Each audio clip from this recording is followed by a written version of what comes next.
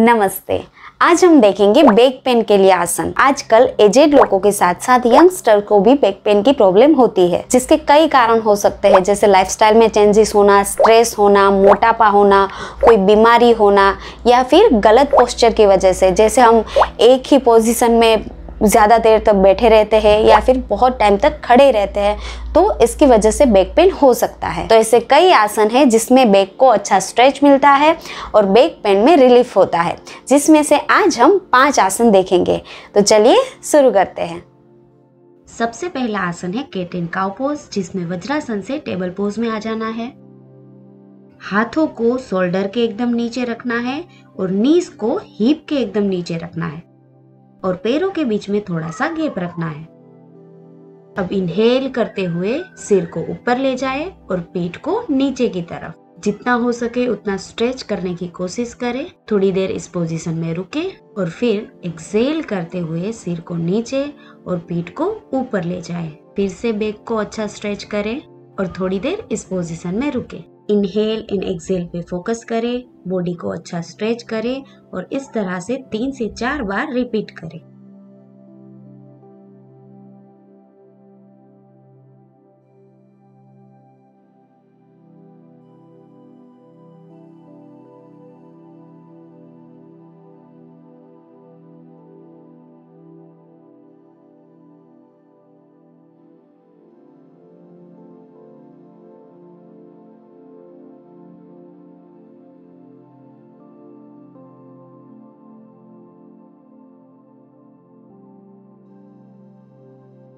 दूसरा आसन है कोबरा पोज जिसके लिए ज़मीन पर पेट के बल लेट जाए। दोनों हाथों को छाती के पास में रख दे और टो को बाहर की साइड रखे। अब इनहेल करते हुए नाभि तक की बॉडी को ऊपर उठाए। वज़न हाथों पे रखना है और थोड़ी देर इस पोजीशन में बने रहना है। एक्सेल करके नीचे आ जाए और फिर चार से पाँच बार रिपीट करें।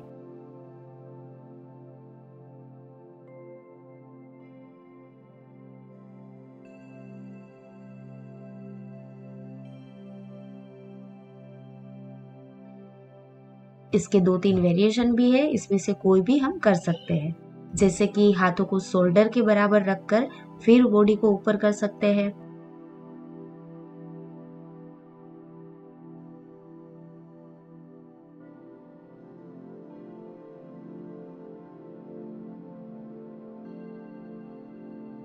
या फिर दोनों हाथों को आगे, ऊपर नीचे रखकर फिर बॉडी को ऊपर उठाए। तो आप अलग अलग करके देख सकते हैं कि आपकी बॉडी के लिए कौन सा सुटेबल है, फिर आप वो रिपीट कर सकते हैं।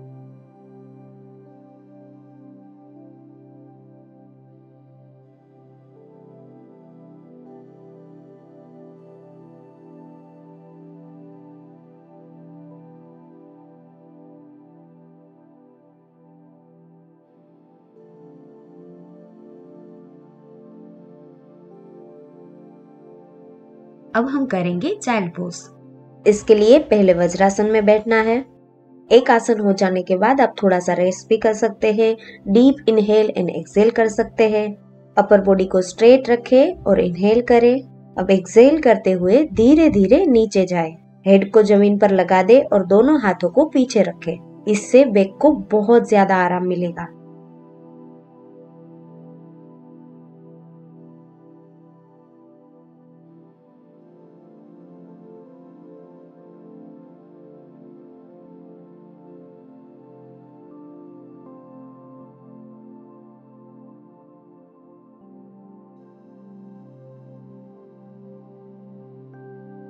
थोड़ी देर इस पोजीशन में रहना है।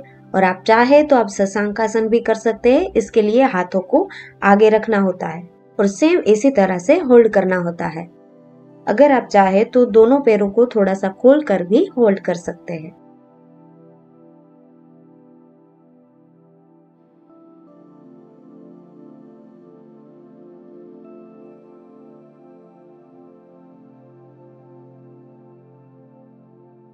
अब हम करेंगे अर्ध मत्स्येंद्रासन जिसके लिए दोनों पैरों को आगे रख के बैठ जाए, अगर थोड़ा सा रेस्ट करना है तो रेस्ट कर लीजिए। बॉडी को स्ट्रेट रखे और फिर दोनों लेग को बेंड करके लेफ़्ट लेग को राइट हिप के नीचे रख। और अब राइट लेग को लेफ़्ट लेग की नी के पीछे की साइड रखना है। अब राइट हैंड को पीछे रख दे बॉडी को स्ट्रेट रखे। दूसरे हाथ से लेग को पकड़ लीजिए और फिर पीछे की तरफ़ देखना है। श्वास लेते रहे और इस पोजीशन को होल्ड करें। हाथों को आप अलग अलग पोजीशन में रख सकते हैं, जैसे कि इस तरह से आगे भी रख सकते हैं, इससे भी थोड़ा आगे रख सकते हैं, या फिर इस तरह से ऊपर की साइड भी रख सकते हैं।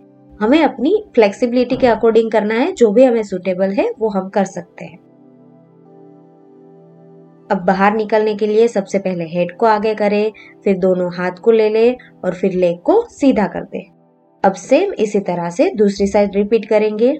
इस आसन को आप ज़्यादा देर तक होल्ड करके रख सकते हैं तो फिर इसको दूसरी बार करने की ज़रूरत नहीं है, या फिर अगर आप चाहें तो आप इसे दो तीन बार रिपीट कर कर भी कर सकते हैं। जिससे बॉडी बहुत ज़्यादा ट्विस्ट नहीं हो पा रही है, वो जितना हो सके उतना ट्विस्ट करके होल्ड करें।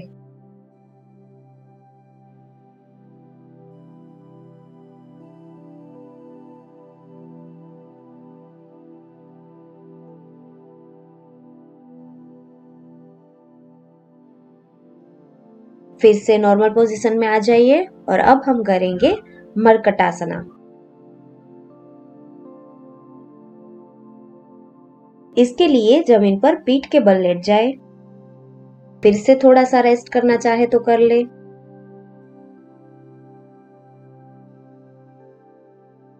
दोनों पैरों को पास में रखना है और दोनों हाथों को कंधों के बराबर सामने रख देना है। अब दोनों पैरों को बेंड करके जितना हो सके उतना नज़दीक लेकर आए। अब दोनों पैरों को एक साथ लेफ़्ट साइड लेकर जाए और गर्दन को राइट साइड लेकर आए। बॉडी को पूरा रिलैक्स कर दे।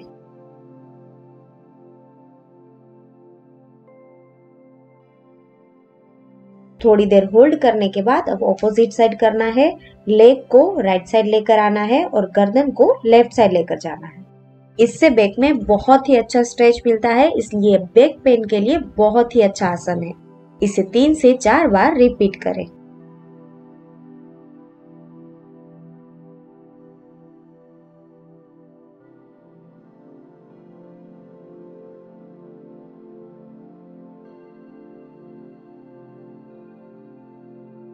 मरकट आसन की तीन वेरिएशन है, जिसमें से हम दूसरा देखते हैं अभी। इसके लिए दोनों लेग को थोड़ा सा दूर रखना है। और अब सेम इसी तरह से लेग को लेफ़्ट साइड एंड गर्दन को राइट साइड लेकर आना है। नी को जितना हो सके उतना ज़मीन को टच करने की कोशिश करें और पोजीशन को होल्ड करके रखें। फिर दूसरी साइड करेंगे, अब लेग राइट साइड आएँगे और गर्दन लेफ़्ट साइड जितना आपसे हो पाए, उतना करें। बाबा रामदेव भी कहते हैं परफेक्शन ज़रूरी नहीं है एक्शन ज़रूरी है। इसलिए आप जैसे जैसे पोस्टर करते जाएँगे वैसे वैसे बेहतर होता जाएगा। इसको भी तीन से चार बार रिपीट करें।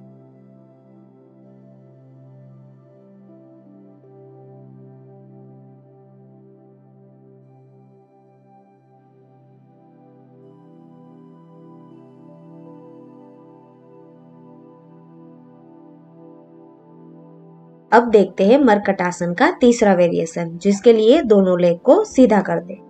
अब राइट लेग को ऊपर उठाना है और लेफ़्ट साइड लेकर जाना है। अब हाथ से पैर को पकड़ ले। अगर नहीं पकड़ा जा रहा है तो ऐसे ही पैर को साइड में रख सकते हैं।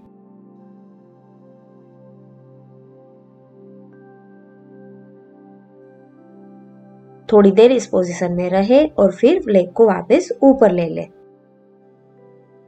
अब सेम ऐसा दूसरी साइड करेंगे। अब लेफ़्ट लेग को ऊपर लेना है और राइट साइड लेकर आना है। हाथ से पकड़ सकते हैं तो पकड़ ले और अगर नहीं पकड़ सकते हैं तो ऐसे ही रख दे। इसको भी तीन से चार बार रिपीट करें।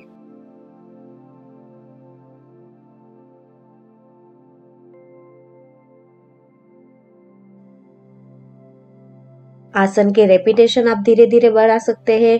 होल्ड करने का टाइम धीरे धीरे बढ़ा सकते हैं। हो सके तो रोज करें या फिर एक दिन को छोड़कर करें या फिर हफ़्ते में तीन बार तो ज़रूर करें। अब लास्ट में थोड़ी देर सवासन में आराम करें।